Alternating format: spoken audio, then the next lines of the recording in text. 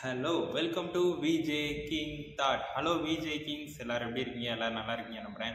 So இன்றைக்கி வந்து நம்ம எந்த டாபிக் பற்றி பேச போகிறோம் அப்படின்னு பார்த்தீங்கன்னா பொதுவாக வந்து ஃபிட்டாக இருக்கணும் அப்படின்னு நினைக்கிறாங்களே எல்லாருமே. அதாவது ஜிம்முக்கு வந்து தான் ஃபிட்டாக இருக்கணும்னு அவசியம் இல்லை. ஜிம்முக்கு வராமல் ஃபிட்டாக இருக்கலாம். பட் இந்த ஃபிட்னஸை பற்றி இன்னும் கொஞ்சம் அந்த எக்ஸசைஸ் இருக்குல்ல அந்த எக்ஸசைஸை பற்றி தான் நான் உங்ககிட்ட ஷேர் பண்ண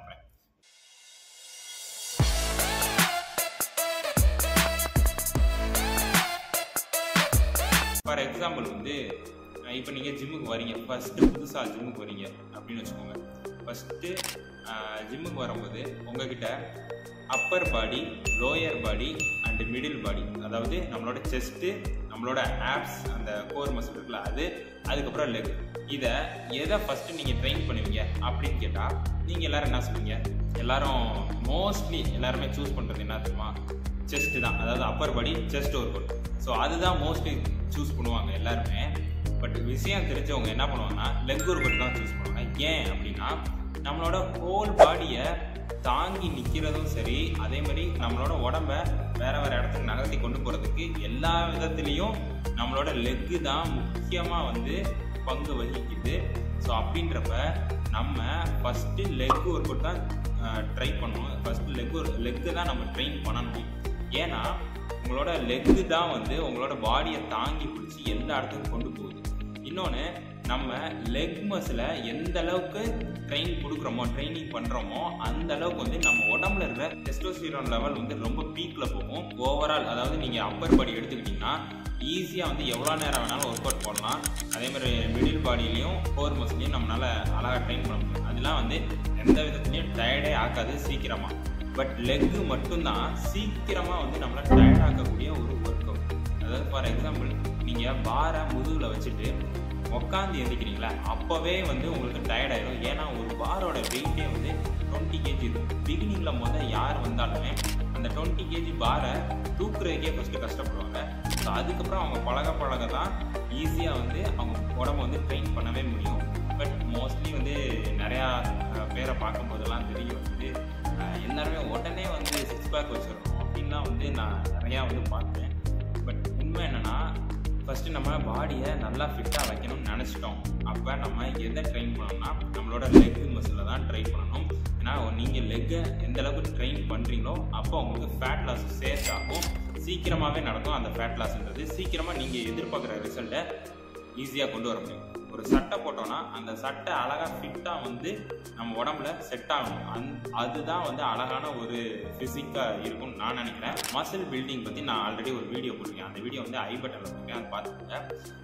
ஏன்னா ஒரு மசில் இருந்தால் தான் ஒரு நபர் ஆரோக்கியமாக வந்து இருக்க முடியும். ஃபார் எக்ஸாம்பிள் ஒரு நீ வந்து நீ பெயின் இருக்குன்னா அந்த நீ பெயினை ஓவர் கம் பண்ணி அவங்கள வந்து ஒரு நல்லா வச்சுக்கிறதுக்கு சேஃப்டியாக நீ பெயின் தெரியாத அளவுக்கு வச்சுக்கிறதுக்கு ஒரு மசில் தான் வந்து எல்லா விதத்துலையும் தாங்கி நிற்கும்.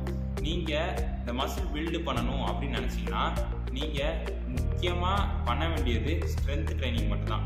ஸ்ட்ரென்த் ட்ரைனிங்னால மட்டும்தான் உங்களால் மசில் பில்டு பண்ண முடியும். ஸோ அதனால் வந்து மோஸ்ட்லி ஸ்ட்ரென்த் ட்ரைனிங் பண்ணுங்கள் இதுக்கு அடுத்து நான் சொல்ல போகிற டாபிக் தான் ரொம்ப முக்கியம். எந்த எக்ஸசைஸ் வந்து நெகட்டிவ் எக்ஸசைஸ் அப்படின்னு பார்த்தீங்கன்னா ஆரோபிக் ஃபார் எக்ஸாம்பிள் வந்து வேகமாக ஓடுறது. வேகமாக நடக்கிறது. இந்த வேகமாக ஓடுறது நடக்கிறது இது எல்லா எக்ஸசைஸும் நீங்கள் மசில் பில்டு பண்ண முடியாது அது என்ன பண்ணுன்னா நீங்கள் அதிகமாக நடக்க ஆரம்பிச்சிட்டீங்க அதிகமாக ஓட ஆரம்பிச்சிங்க உடம்ப குறைக்க போகிறேன் அப்படின்னு சொல்லிட்டு இந்த மாதிரி விஷயங்கள் செய்யும்போது உங்களோட உடம்புல பாடியில் வாட்டர் கண்டென்ட் இருக்குது ஃபேட் கால்சியம் ஆர்கான் இந்த மாதிரி எல்லா எல்லா கண்டென்ட் இருக்குது ஸோ இது எல்லாமே மொத்தமாக வந்து வீக் ஆக்கிரும். ஏன்னா உங்களுக்கு ஒரு குறிப்பிட்ட கட்டத்துக்கு மேலே நீங்கள் ஃபேட் லாஸ் பண்ணணுன்றதுக்காக ஓடிக்கிட்டே இருக்கீங்க. இந்த மாதிரியான ஒரு ஆரோபிக் ஆக்டிவிட்டீஸில் இருக்கீங்க அப்படின்னா உங்களோட பாடியில் இருக்கிற மெட்டபாலிசம் ஹை அதுக்கப்புறம் என்ன நடக்கும்னா ஃபேட் பேர்ன் ஆகும். ஃபேட் பேர்ன் ஆகிறத பற்றி பிரச்சனை இல்லை. இங்கே விஷயமே ஃபேட் பேர்ன் ஆகணும் தான் நம்ம எல்லாத்தையுமே எல்லா விஷயமும் செய்கிறோம் பட் ஃபேட்டுக்கு அப்புறம் மசில் பேர்ன் ஆயிரும். ஸோ மசில் வந்து ரெடியூஸ் ஆக ஆரம்பிச்சிச்சுன்னா டோட்டலாக வந்து உடம்பை வீக் ஆகும். உடம்ப நம்ம ஸ்ட்ரென்த் பண்ணுறதுக்கு மசில் பில்டிங் தான் ரொம்ப அவசியம். அதுக்கு ஏரோபிக் எக்ஸசைஸ் ஹெல்ப் பண்ணாது. எந்த எக்ஸசைஸ் ஹெல்ப் பண்ணால் ஸ்ட்ரென்த் ட்ரைனிங் மட்டும்தான்.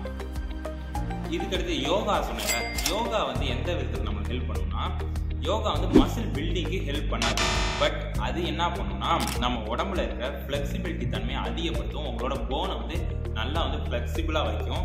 ஃபார் எக்ஸாம்பிள் நம்ம எக்ஸசைஸ் முடிச்சதுக்கப்புறம் ஸ்ட்ரிச்சிங் பண்ணணும்னு நினைப்போம். அது டைனாமிக் ஸ்ட்ரிச்சிங் இருக்கட்டும் ஸ்டாட்டிஸ்டிக்கல் ஸ்ட்ரிச்சிங் இந்த மாதிரி எக்கச்சக்கமான ஸ்ட்ரிச்சிங் இருக்குது பட் இந்த ஸ்ட்ரிச்சிங்லாம் பண்ணுறதுக்கு பதிலாக yoga yoga is the best way for your body stretching so என்னன்னா உங்கள் பாடியை ஸ்ட்ரிச் பண்ணுறது வர நீங்கள் யோகா பண்ணும்போது ஆட்டோமேட்டிக்காகவே உங்கள் பாடி வந்து ஸ்ட்ரிச் ஆகிடும் ஏன் நம்ம இப்போ ஒரு நபர் வந்து நான் ஃபிட்டாக இருந்தால் போதும் அப்படின்னு வராங்களே அவங்களுக்கு அதாவது நார்மல் பீப்புள் வெயிட்லாம் ரொம்ப தூக்கணும். ஓரளவுக்கு நான் வந்து ஃபிட்டாக வரணும். பெரிய லெவலெல்லாம் எனக்கு எதுவும் தேவை கிடையாது. நான் சட்டை போட்டால் அழகாக இருக்கணும் அப்படின்னு யார் யாரெல்லாம் நினைக்கிறீங்களோ அவங்களுக்கு தான் இந்த வீடியோ என்னன்னா நீங்கள் டெஃபினட்டாக ஜிம்முக்கு வாங்க. உங்கள் உடம்ப ட்ரெயின் பண்ணும்போது ஸ்ட்ரென்த் ட்ரைனிங் தான் ரொம்ப ரொம்ப முக்கியமான விஷயம். ஏன்னா நீங்கள் ஸ்ட்ரென்த் ட்ரைனிங் பண்ணும்போது என்னென்ன விஷயங்கள் நடக்கும் அப்படின்னு பார்த்தீங்கன்னா உங்களோட உடம்புல இருக்க நியூரான்ஸ் அதாவது உங்களோட பிரெயினில் இருந்து நியூரான்ஸ் வந்து நல்லா ஃபார்ம் ஆகும். உடம்பு ஃபுல்லாக ஃபார்ம் ஆகும். இப்படி உடம்பு ஃபுல்லாக நியூரான்ஸ் ஃபார்ம் ஆகுறதுனால உங்களுக்கு பெயின் ஏதோ ஒரு இடத்துல இடிச்சுக்கிட்டீங்க அப்படின்னாலோ அதுக்குண்டான பெயின் வந்து உங்களால் தாங்கக்கூடிய சக்தி வந்து கிடைக்கும். இதுதான் வந்து மெயின் ரீசன் செகண்ட் நியூ உங்களோட பிரெயினில் இருக்கிற செல்ஸ் எல்லாமே புதுசாக ஜென்ரேட் ஆகிட்டே இருக்கும். இதனால உங்களால் நீங்கள் வயசானாலும் உங்களுக்கு மறதி அப்படின்ற ஒரு ஒரு விஷயமே வராது. ஸோ நீங்கள் ட்ரெயின் பண்ண நீங்கள் ஸ்ட்ரென்த் ட்ரைனிங் எவ்வளோ தூரம் பண்ணீங்களோ அந்தளவுக்கு நல்லது.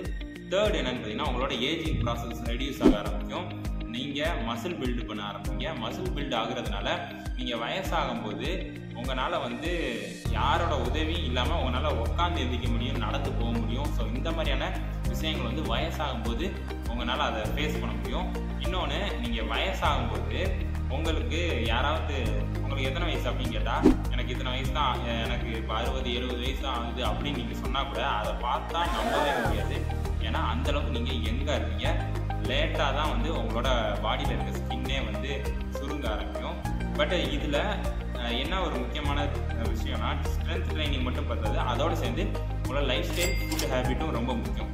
இந்த மாதிரி எக்கச்சக்கமான விஷயங்கள் இருக்குது ஸ்ட்ரென்த் ட்ரைனிங்கில் ஸோ ஸ்ட்ரென்த் ட்ரைனிங் பெனிஃபிட்னா என்ன அப்படின்றத நான் இன்னொரு வீடியோவில் வந்து ஒரு ஒரு முழுசாக உங்ககிட்ட சொல்கிறேன் ஸோ இதுக்கப்புறம் வந்து ஒரு நார்மல் பீப்புள் வந்து நான் ஃபிட்டாக இருக்கணும்னு நினச்சாங்க அப்படின்னா அவங்க வெறும் மூணு நாள் மூணே மூணு நாள் ஸ்ட்ரென்த் ட்ரைனிங் பண்ணாலே போதும். ஜிம்முக்கு வந்து நல்லா வெயிட் தூக்கி எக்ஸசைஸ் பண்ணி இருந்தால் போதும். அடுத்து நாலாவது நாள் வந்து கார்டியோ மட்டும் அதாவது ரன்னிங் ரன்னிங் சொன்னால் ஜாக்கிங்க்கு பதிலாக ஸ்ப்ரிண்ட் அப்படி சொல்லுவோம்ல அந்த மாதிரி எக்ஸசைஸ் இல்லை ஸ்விம்மிங் ஸோ இந்த மாதிரி எக்ஸசைஸ் வந்து ரொம்ப பெஸ்ட்டு ஸ்விம்மிங் ஸ்ப்ரிண்ட்டு சைக்கிளிங் இது மூணும் ரொம்ப முக்கியமான ஒரு எக்ஸசைஸ் பிகாஸ் நம்மளோட ஹார்ட் ஹெல்த்துக்கு இந்த மூணு எக்ஸசைஸ் தான் பெஸ்ட்டான ஒரு ஆப்ஷன் அதுக்கப்புறம் அஞ்சாவது நாள் நீங்கள் என்ன பண்ணலாம்னா யோகா.